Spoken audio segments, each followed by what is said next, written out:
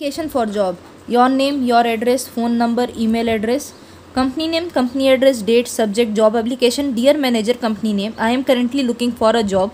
When I was informed that your firm has vacancies and I am interested in applying for any of your vac- vacant position. I am confident I am confident that my skills and experience in my studies could make a great contribution in your firm.